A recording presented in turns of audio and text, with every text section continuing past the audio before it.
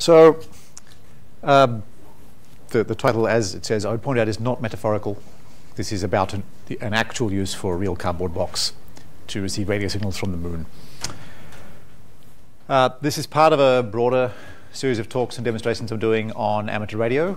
Uh, I won't repeat the entire introduction today, other than to say there's a great Wikipedia article. Uh, this is the sort of conventional symbol for amateur radio. Um, something's gone wrong. Give me a moment, please. I should be able to see what is happening. Press that. Slideshow.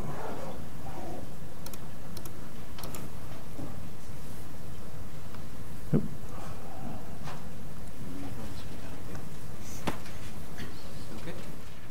Uh, everything's fine, just I haven't got the usual presenter display. Never mind. Um, so, but very briefly, amateur radio is a radio communication service, but it's specifically for uh, things that are about personal motivations rather than what you're doing for your employer. The definition is used in most English-speaking jurisdictions. It's been used for about half a century. I would suggest it looks an awful lot like a definition of the maker movement, except for the bit about radio. That is, it's self-training, it's not for profit, it's sort of engineering for fun. Uh, I resumed my involvement in radio about two years ago. I first did this when I was a kid. And the question for me at the time was, you know, why do it? The internet and smartphones have kind of eliminated the, the traditional use of amateur radio. What's the point anymore? And so I identified four different areas where amateur radio is interesting. To operate where the mobile network goes away, uh, this is particularly in natural disaster type scenarios. Louisiana went underwater, you know, the mobile network stops working, and the roads are underwater, so engineers can't get out and fix it. Uh, operating places where the network doesn't exist. Uh, rural and desert areas are an obvious case. Uh, space is the other, which is my area of interest. The DIY radio electronics uh, very much interests me. I've been playing with electronics since I was seven years old, and so this as an application of electronics is fascinating. And not so much for my, myself, but for many people, the ability to operate at increased power. Uh, amateurs can operate in the sort of high hundreds or low kilowatts, uh, which is useful for communicating very long distances on the, on the Earth's surface using the ionosphere as both a duct and a, a mirror.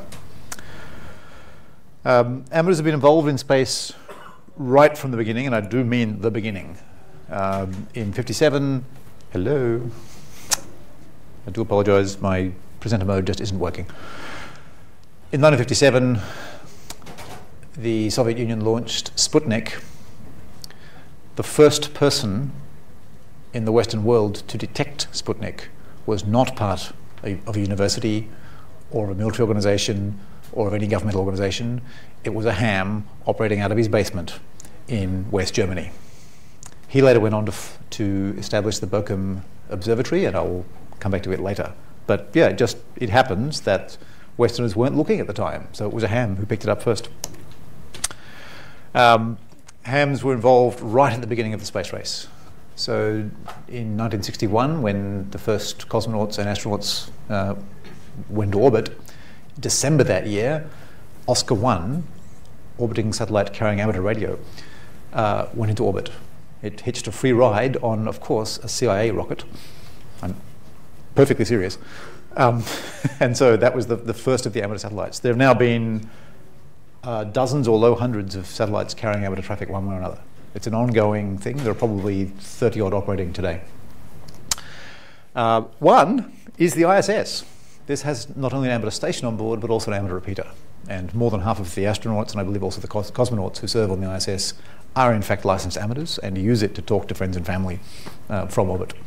So I haven't yet got around to doing it because it's the wrong time zone. The astronauts operate on London time, so to cat, and they usually do amateur radio after work.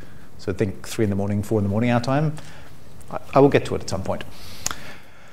Um, another interesting variant is satellites that were built for a different purpose. So these are EO 79 and 80, the European Space Agency satellites that had a sort of paid science mission first, and in sort of in return for being allowed to use amateur spectrum, then made these satellites available for amateur use for the entire rest of their lifetimes. So they spend six to six to 12 months doing their science mission, and then sort of five to 10 years providing amateur service. So there's, there's quite a few different ways that amateur satellite capacity uh, comes into being. They're not all fully amateur-funded satellites.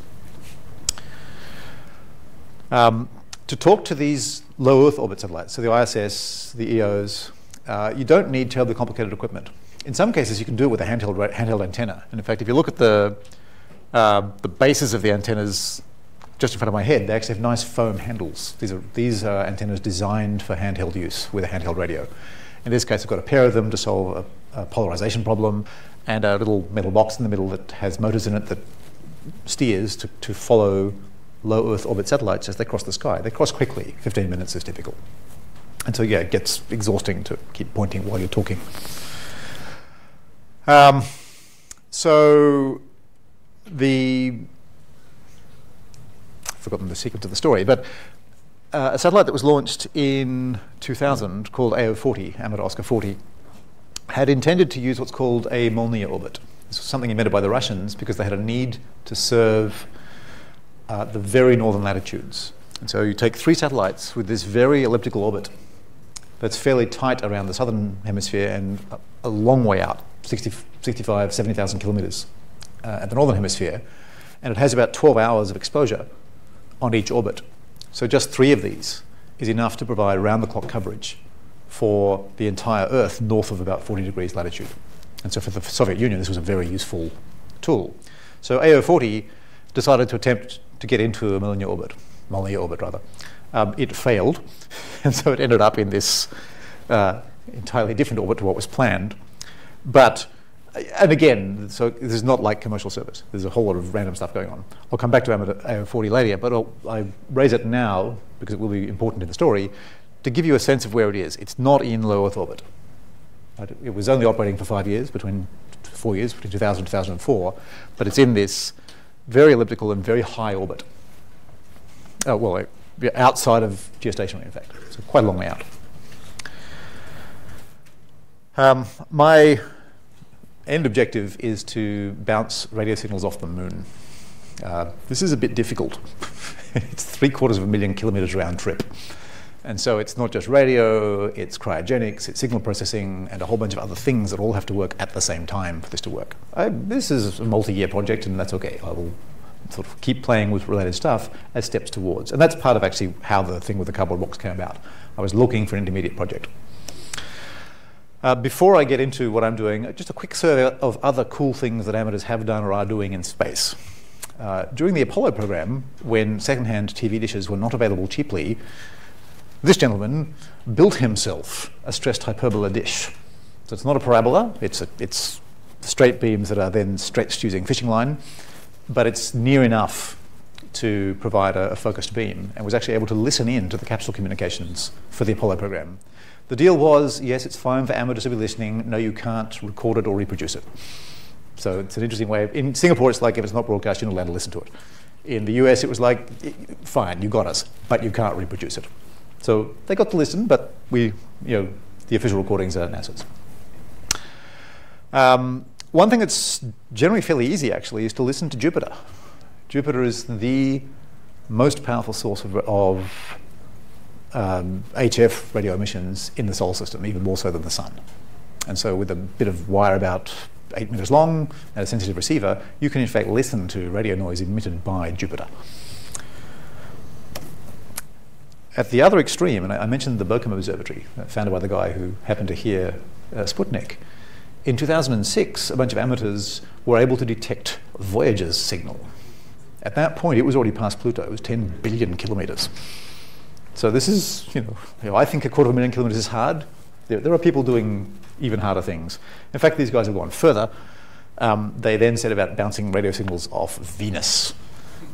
It's five million kilometers away uh, in 2009. That's beyond what I expect ever to attempt. Um, apparently, they're a fairly ambitious group, so they've set their sights even higher. Um, not to bounce signals off Mars, which apparently would be too easy, but to build this object and put it in orbit around Mars. They're not kidding. How they'll arrange a ride, not yet clear. But as I said, amateurs have been putting have put dozens of satellites into orbit, including in some fairly high orbits. Can we get a ride to Mars? Time will tell. Um, if they succeed, uh, they will win this revolting object. Um, this was a cup created in 1929 uh, Hiram Percy Maxim, who's, who's the very much the sort of father of the amateur radio movement in the US, was also fascinated by Mars. And so he established a prize, which is just the cup, there's no cash, um, for the first uh, amateurs who established two way communication with Mars. And your details up to you. So the AMSAT, it's the AMSAT Germany group who's doing this, and they actually expect to succeed at least within our lifetimes. Quite how, whether that's uh, five years or 20 years away, I don't know. Um, on the, more in the sort of projects that have succeeded, this is ISEE-3. Uh, it was a satellite launched in the oh, probe launched in the 70s. It was placed in a location called Earth Sun L1 to observe the sun. It was then retasked to rendezvous with a comet. It was then retasked again to rendezvous with a second comet. So it's both the first spacecraft ever to rendezvous with a comet and the first and only to rendezvous with two as part of the, the posse of uh, probes that chased Halley in 1986. Um, by about 97, NASA was like, okay, we're finished. We have nothing more useful to do with this spacecraft. So they gifted it to the Smithsonian in orbit. It's in orbit around the Sun, and it intersects the Earth every 15 to 20 years, approximately. So in about 2010, more than a decade after its last command was sent by NASA, a bunch of people, uh, who I assume are college students, thought, huh, ISEE-3 will intersect with Earth in about 2014. We should reactivate it. And so, with the help of the Smithsonian and NASA and the Arecibo Observatory, who lent them the world's biggest dish, uh, and some radio manufacturers who lent them software defined radios, um, this small team actually put together a project to regain control of the craft, to fire its engines once to get it into a stabilizing spin. Unfortunately, they, they weren't able to make the additional firings to put it back into its original mission. But this, of course, required not only orbital mechanics and spacecraft operations, but radio. Right? The reason for the use of the Arecibo dish was to have this very weak signal communication with a spacecraft that at the time was a, a long way away. And so this is kind of an extreme example, but it's what people who are playing with this stuff for fun can and have achieved. So, uh, getting back to what I'm doing, my problem for, for choosing smaller projects and sort of small steps towards the larger one, is low Earth orbit's pretty easy and can be done with handheld gear and can be simplified, at least operationally, by having an automated tracker, which I built earlier this year. Uh, geostationary and Molniya are anything up to whatever, there's thousands of times that distance. But with suitable dishes and, and some fiddling, it's doable. But to get from, and setting aside that there are no Molniya orbit or, or currently any amateur geostationary orbits, although there will be in about 18 months, um, getting from 60,000 kilometres to 750,000 kilometres in one step is a bit um, horrifying. It's, it's quite a difficult thing to do. I was like, well, you know, wouldn't it be nice if there was at least one intermediate step? But there can't be because there are no operating radio transmitters on the moon, which is literally true, but misleading. There's an operating radio transmitter in orbit around the moon. This is the Lunar Reconnaissance Orbiter. It's in the process of doing sub square meter photographs of the entire surface of the moon. It has two downlinks. One of them is on S band, which is pretty close to Wi Fi and Bluetooth. So the equipment is readily available. Not necessarily cheap, but readily available. So I, when I realized this, I thought, oh, hey, this is still operating. Surely somebody has gone to look for it. And the answer is two people have gone to look for it one using a 60 centimeter satellite dish, uh, one using a 90 centimeter Wi Fi point to point dish. But they're both, because of the frequencies, they're both about right. Um, fairly similar stats. So the dishes are comparable size, they're both optimized at about the same frequency, very similar gain. Uh, 21, 22 decibels is, uh, is approximately 100 to 1. So instead of listening to the whole sky, they're listening to a, a hundredth, about a 15 by 15 degree uh, cone, if you like. Um, some differences in approach. The OZ9AC guy used a 1000 to 1 low noise amplifier without any frequency conversion, which means he did some fairly fancy coax. It turns out that the standard coax that we use for most radio is useless at 2.4 gig because you just the, the losses in the coax are immense. Um, the gateway guy basically sort of ordered random gear off Alibaba and then messed around for a while and got it to work was using uh, a low noise block and down converter for satellite TV. Um, and then just cheap coax or RTL SDR, the standard dongles. And again, because the, the down conversion had occurred, the frequency was in a range that a, that a $10 uh, STL dongle could talk to rather than a $1,500 uh, universal software radio peripheral, which is the sort of Rolls Royce of software defined radios. Um, so, okay, I thought that's great. So, when I get to the point of doing that sort of stuff, this will be a useful starting project ahead of getting a three meter dish and all the other stuff required for Earth, Moon, Earth. But they're still dishes. And in Singapore, there's a regulatory problem with dishes. It's doable, but you need about three or four government agencies to all say yes at the same time. Um, and so I will get there, but it's not where I want to start. So I thought, okay, I will shelve this as an interesting project to as an interesting entry point once I start having those discussions with the various bodies who have to say yes. So separately, about a week later, I was reading up on AO40, this thing that tried to get to a Molniya orbit and ended up in this, not quite, but this very high orbit. And um, there'd been a problem with getting hams in the US to try it because even in 2000, hams were sort of less willing to go out and buy a dish. So someone says, well, no, no, it's microwave. You don't need a dish. You can use a horn, meaning something with flat sides, a bit like a speaker box. And the important thing about flat sides is you can literally use a cardboard box and roll alfoil. So not a metaphor, an actual cardboard box, in fact two. And so what you're seeing here, um, so from the outside you're seeing a cardboard box. Inside is a second box with sort of four roughly triangular pieces to make the horn. And at the back of the horn, a bit of, roughly a paperclip, a bit of wire stuffed directly into the input socket on the low noise block. And so the, the low noise block and down converter uh, sitting directly on the back of the, the cardboard box, and the, the driven element is just a bit of stiff wire in the, in the throat of the thing. So I thought, well, that's really cool. I love this. It's a sort of nice hack and good thing for hams and yada, yada, yada. And then I happened to notice the specifications. And here we've got one of the craziest uh, coincidences ever. LRO operates at 2271 megahertz. AO40 operated at 2304 they're less than 2% apart. It means I don't even have to redo the, the numbers for the, I can just make the same box. I will redo the sums, but in principle, they're so close that you can use exactly the same equipment in both cases. But importantly, the gain is about the same. 20 dBi is about 100 fold. This is near enough the same specs as what these other two guys were using to detect LRO. So like, whoa! So I can take a cardboard box that was used to solve a problem a decade ago for AO40 and use it to detect transmissions from the moon. I've got my intermediate project now. Unless MDA decides to start regulating cardboard boxes, in which case I have a problem. But assuming not, uh, that's the approach that's available. So um, I'm taking uh, sort of a hybrid because I already have a Novena, which has a what's called a field programmable RF unit, the sort of a primary component of a software-defined radio on board, which operates all the way up to, to 3.8 gigahertz. So it will cover completely the, the frequencies involved, meaning I don't actually need a down converter.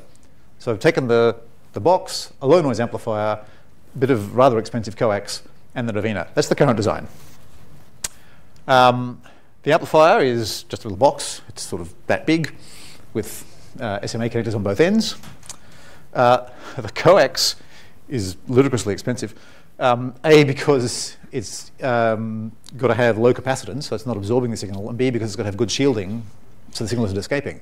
A really fundamental problem, if anyone in the room has done any communications engineering, uh, the reason that super heterodyne radios were devised is because a device like this, which has a lot of gain and the same frequency at the input and the output, is a very high risk of feedback.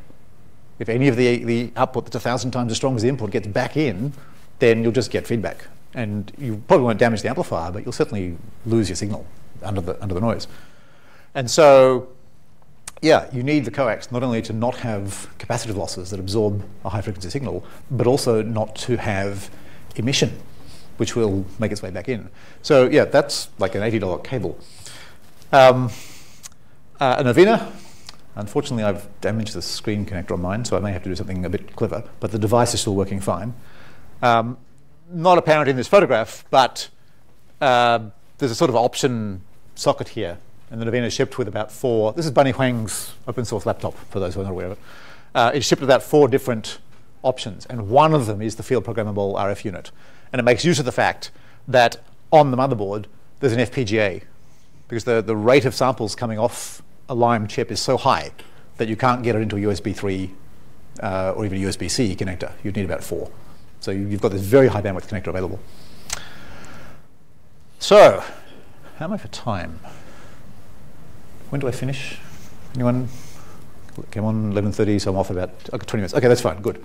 So uh, here's the difficult math part of the talk. Um, uh, there are four separate ideas that I want to present here, and this is to give a sense of why this thing is difficult to do, even one way. And, and then sort of in your head you can work out what happens if you double the, the distance. It gets worse. So this first table uh, describes the amount of power, the amount of signal power available at each step between the LRO and the analog to digital converter inside the, the chip in the, in the laptop. The transmitter is operating at about 5 watts, or in scientific notation, for reasons that will become obvious, we're crossing 22 orders of magnitude here, so the numbers get tiny. Uh, uh, 5 by 10 to the 0. Uh, to make their lives easier, radio engineers use decibels, and usually decibels of uh, milliwatts. The reason is, instead of doing a lot of multiplication, it becomes addition and subtraction. All the powers of 2 we're accustomed to become multiples of 3. So a doubling is add 3, or halving is subtract 3. Multiply by 16, add 12. Or divide by 16, subtract 12. And so for radio engineers, it's all gain in decibels, and therefore an actual power level in decibel milliwatts. However, very few people in this room are accustomed to thinking this way, so here are the same numbers in scientific notation, notation and then metric. So uh, the transmitter on the satellite is operating about 5 watts. It has a 75 centimeter dish antenna, which delivers about 22 decibels.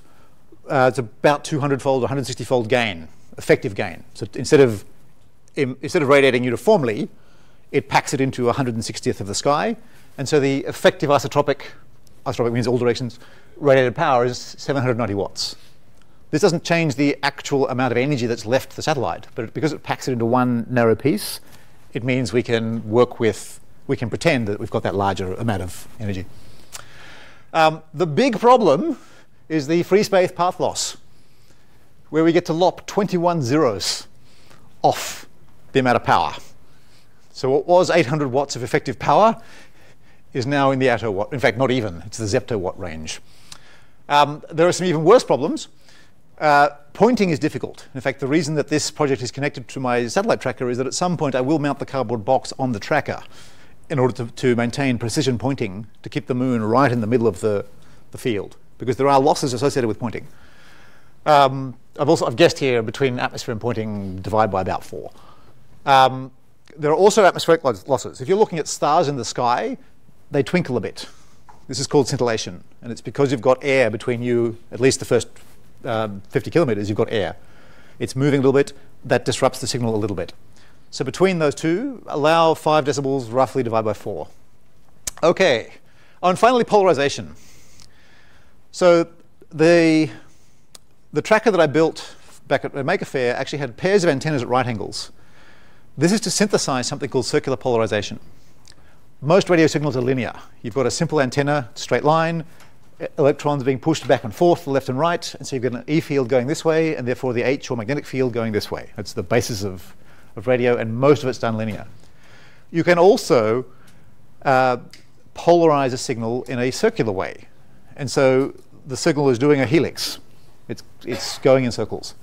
The simplest way to do it is to have an antenna that is itself a helix and pointed in the direction you're, you're pointing. And so as the electrons are moved up and down the, the wire antenna, you're creating a magnetic, uh, first thing, electric field that's in a helix, and then 90 degrees behind it, a magnetic field that's in, it, that's in a helix. This turns out to be really useful for satellites because it means you only have to get the pointing right. You don't have to align polarization. If you've got two linear antennas, if you're on Earth, you've got a TV and a TV station, then okay, that's really easy. But if you've got a satellite at an unknown orientation and you've got an antenna on the Earth, it's not enough to point them at each other. You've also got to get them into the same polarization, or you're throwing away 99.9% of your signal. So helical is frequently used in satellite comms because it means that once you've solved the pointing problem, you don't have to solve the polarization problem. The difficulty is, and because I'm using a horn here, horns can only do linear. So I'm getting away from the need to make a curve, and, in, and both the technical problem and the regulatory problem. But what I'm getting back is I can only operate linear. And what that means is, and only one linear, can't be polarized two ways. So for the, for the satellite tracker I did for Maker Faire, it's two antennas, and I, there's a way to mix them. In this case, I can only do it one way, which means I lose 50% of my signal. So I go from 2 by 10 to the minus 19 watts, once I've taken into account atmosphere and pointing problems, to 1. This is a tenth of an attowatt. In SI, that's called a zeptowatt, which means basically nothing to anyone. Uh, in metric, you're allowed to concatenate prefixes. So to help make some sense of this, what I'm talking about is 0.1 nano nanowatts, a tenth of a billionth of a billionth of a watt. And this is not notional. This is an actual amount of power that's available for, uh, for processing. So we're not, it, it's a ludicrously small amount of power. So, okay, how do we get from this to a usable signal? The first is the cardboard box. The cardboard box has a forward gain of about 20 dB or 100 fold. So that gets us from a tenth of an attowatt to 10 attowatts. Bravo. We've gone from almost nothing to a little bit less than a little bit more. Um, the next is the low noise amplifier. It adds about a thousand fold gain, 30, 30 dB, which gets us up into the, the femtowatt range. Uh, unfortunately, we then have some problems. Uh, the coax, despite being very fancy, will still lose uh, about 30% of the energy that gets passed to it. There's also coupling inside the Novena between the, the coax and the Lime Microsystems chip. I'm guessing another decibel there. It might be actually two or three. So what's presented, so in, inside the, the field programmable RF chip, the Lime chip, are these four amplifiers that are that process the signal in sequence. So at the time that we enter the chip, we are at about 5.6 femtowatts. This is still a ludicrously very tiny signal. Uh, fortunately, there's a lot of gain available inside the chip. There's firstly a low noise amp stage, which introduces about 12 decibels or 16 fold amplification. There's then a variable uh, amplifier for up to 1,000 fold. There's then a low pass filter for getting rid of a lot of noise. There's then another variable amp with another 1,000 fold. So at this point, we're up, we're steaming. We've reached 350 nanowatts, a third of a microwatt. Is this enough? Hard to say. So inside the chip, the ADC is it's differential and it works on about a one volt peak to peak basis. It's a 12 volt ADC, 12 bit rather ADC, meaning 4096 levels, and I believe they're linear, meaning we're looking at about 240 microvolts per step in the input to the ADC. Uh, okay, so how do we get how do we compare these things? The input to the ADC has an impedance of about 2 kilo ohms. So you multiply these two numbers together and take the square root. And that gives you a voltage of about 27 millivolts, which is almost 100, in fact, yeah, just over 100 times the step size. So the answer is yes. Assuming that my numbers are right, and there's an awful lot of guesswork in here, so they might not be. But assuming that they're right, then this stuff altogether is enough and just enough to allow the ADC inside the front end chip to actually discern the signal that's arriving from LRO.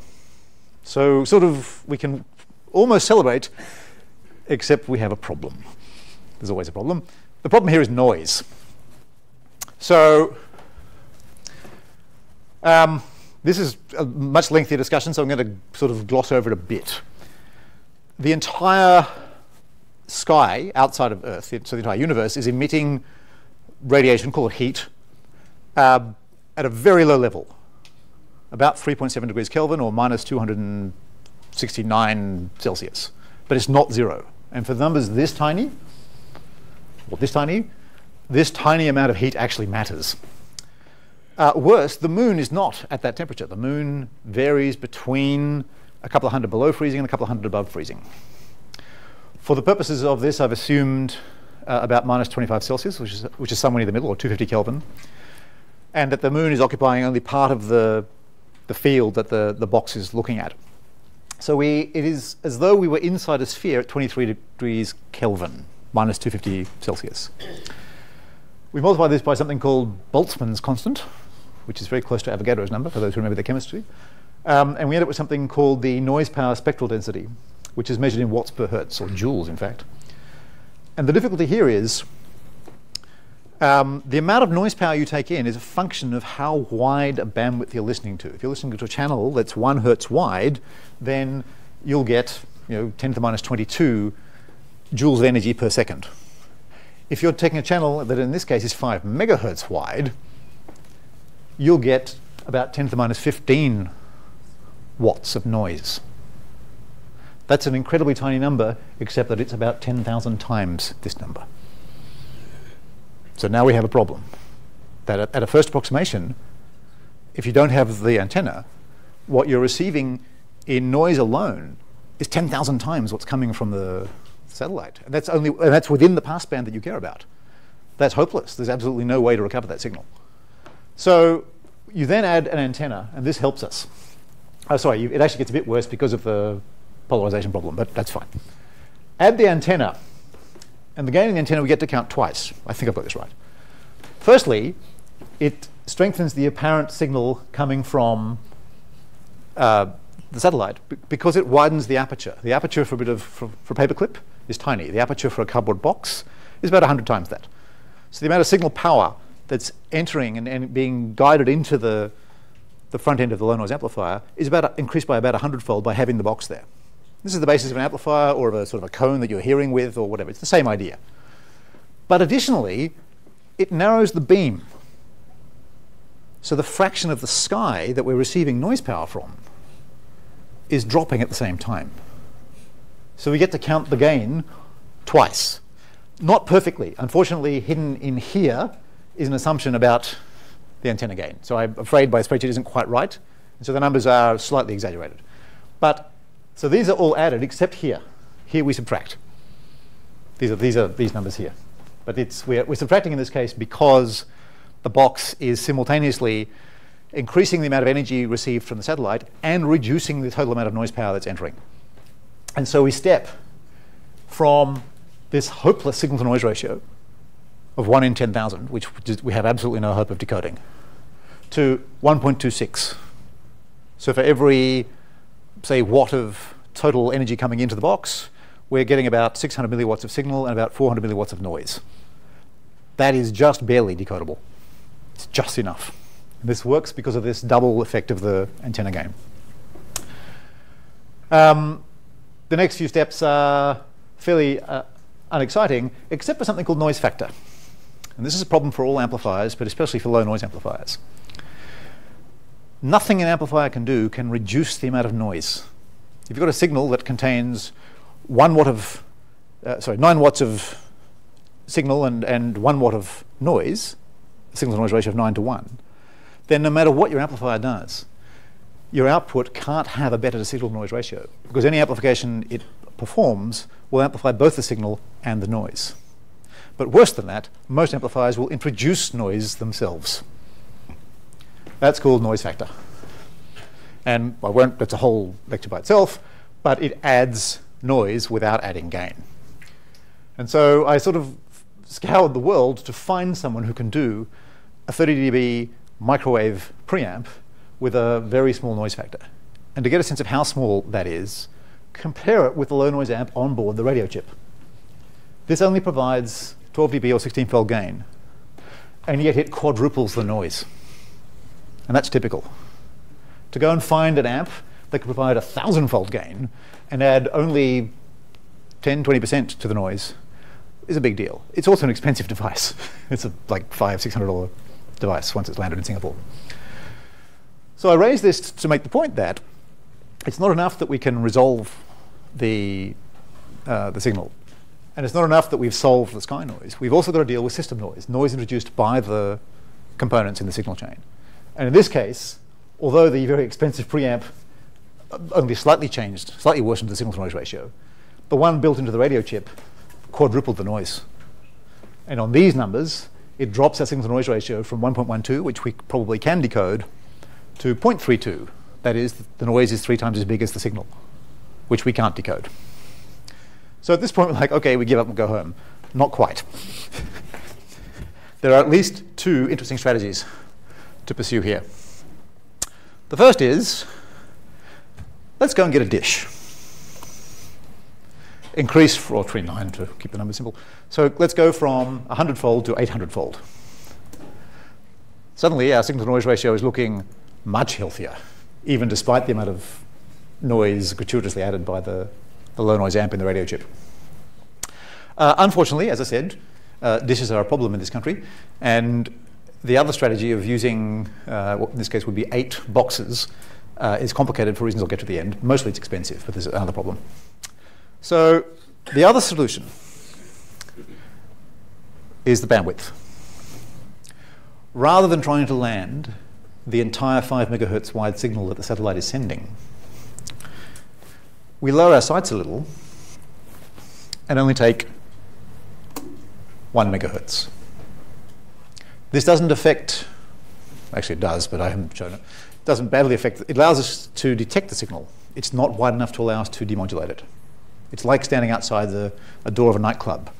We can hear but we can't hear the, the lyrics and we can't hear the, the melody.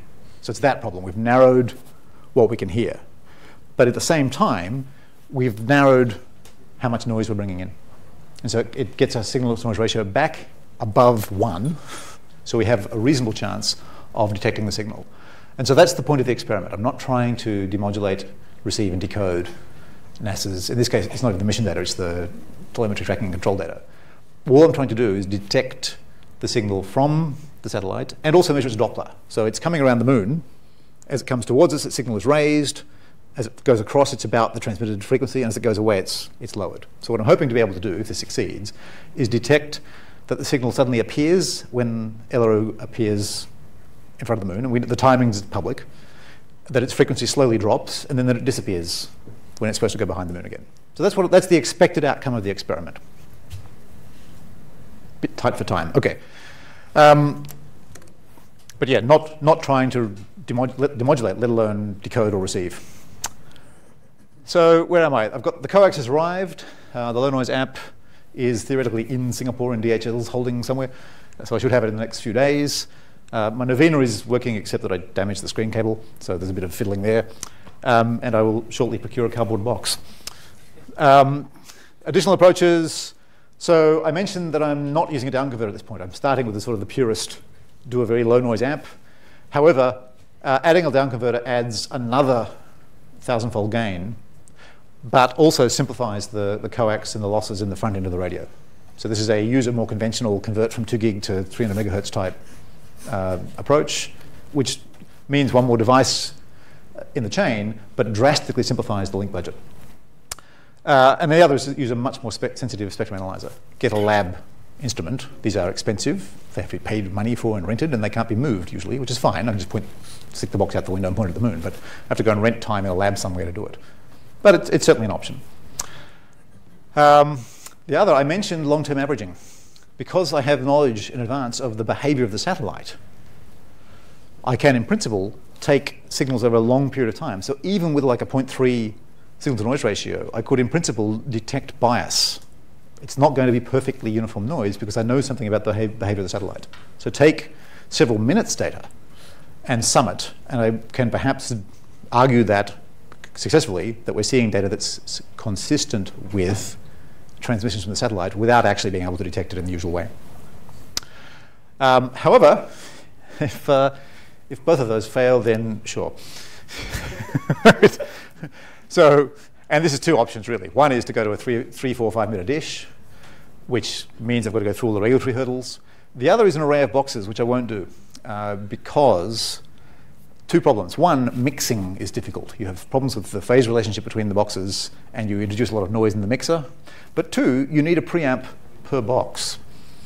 So if I switch to sort of eight cardboard boxes, uh, I'm looking at about $5,000 worth of preamps.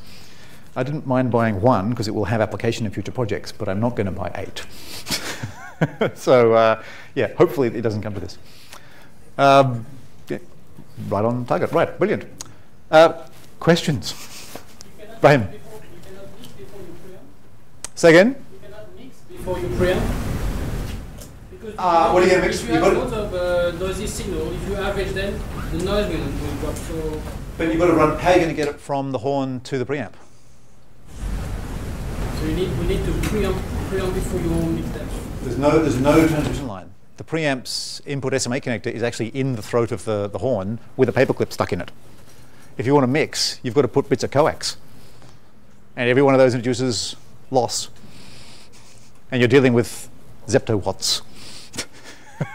I've got, you know, you, what you gain in the multiple boxes, you'll actually potentially lose uh, in the distribution network, let alone the noise that a mixer will introduce. Uh, I think it's landed. I expect five hundred and sixty Sing dollars. Yeah, so you know, just one. Forgot about one more question. Sure. Yeah. We have time for like a couple questions. So. Okay. So what, what do you expect to get from the signal? Just a carrier. Because I've got to narrow the bandwidth to the point where I can no longer even demodulate the signal, let alone attempt to decode its contents. It really is just either the signal's there or it's not. And I know it's approximate frequency, so I'm looking for you sort of nothing, a signal, nothing. There's no, there's no way to, to even demodulate the signal. But further, as far as I know, NASA is not publishing information about the content, so I would, I'm not in a position to decode it. So, uh, there was another one here somewhere? Yep. I guess since uh, you're using a cardboard box and trying to listen to the moon, um, it's relatively near, um, you don't have to be very accurate about where you're pointing the cardboard box. Uh, its field of view is about 15 degrees. So it's, yeah, there's a fair bit of play, but clearly the, the pattern is a curve. Uh, the closer to the center of the horn the moon is, uh, the better. So um, you also mentioned uh, other projects like the ISEE-3 um, satellite. So um, those are far further away. So um, if you're, and some of it involve transmitting a signal to them rather than reading. So um, I guess there's a huge amount of angular accuracy required. So um, any idea of how accurate it needs to be? And Yeah, so in people the Arecibo case, it's, it's a 300 meter dish. Uh, I couldn't tell you off the top of my head, but I imagine it's like hundredths of a degree. Um, and so they cheat a bit because they can't steer the dish. The dish is stuck. And the Chinese one that just started operating is 500 meters. It's also stuck. They just wait for the Earth to point in the right position. But what you can do, you've got a bit of wiggle room at the focus. And so, yeah, they've got a sort of very high precision way of controlling uh, the beam between the, the focus and the dish in order to track. But yeah, to cover the distances that they covered initially, it's fractions of a degree. And yeah, I'm n- never likely to build equipment that accurate. Sure. So you talked a lot about satellites at the beginning, right? And uh, a lot of them are funded, well funded by governments. Do you know of any? Because it's hair radio, right? So do you know of any satellites that are not government funded? Uh, I haven't done a sort of exhaustive study, but there's, it's generally a mix. So the right, go back to Oscar One, the device itself was built by amateurs in a garage, and paid for by the people who built it. But the that beyond the exosphere? Because you have need rockets to they, they got a free ride on a CIA rocket. Seriously. Uh, so it was the, like engineers who work who were so so there's it's a project called Corona and it's NASA's most successful project ever. It was 130 something launches and 130 recoveries. And this is recovery in flight. So you got a, a film canister falling through the atmosphere with a parachute and a supersonic aircraft that intercepts catches it. Right? So this was, but this was a vitally important intelligence function at the height of the Cold War. And so, yeah, like whatever they needed to spend, they spend, and that's where most of uh, NASA's money was coming from. But uh, the, the satellite is a the, the, the cameras are a payload at the top of a, a rocket. It must be actually symmetrical, otherwise the rocket engines can't keep the rocket straight. And so you add ballast. And so they're able to say, oh, well, instead of just putting in your rocks, how about uh, this, this satellite? This, this, sorry, this transponder. And so that was the deal. They were able to, to, because they were the right guys, they were doing the engineering work for NASA and NASA contractors anyway, and they were hams, they were able to sort of make the argument that, hey, how about this as a ballast? And therefore they were able to get their ride for free. They still had to deal with pointing and power, and that's a complicated problem. And so there's never been a success yet in getting to geostationary, but there are two projects that are likely to go into geostationary in 2018, and both of them are riding on the back of commercial satellites. So that the, the ride, the pointing, the power is provided by others. The amateurs are only providing the, the repeater. Bizarrely, one of them's the US, no big surprise. The other one's Qatar. Somehow, the Amateur Club of Qatar was able to persuade QTEL to carry an, a ham transponder into geostationary, and that's that's due for January, February uh, 2018. I'm afraid that's all we have time for, but if you have further questions, you can always look for Roland over lunch or break, assuming he doesn't want to run away from you at that point. I'll be around. Yeah. All right, thank you, Roland.